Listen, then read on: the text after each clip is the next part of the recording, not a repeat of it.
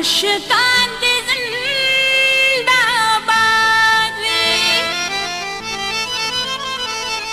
مینانو سره خون سرې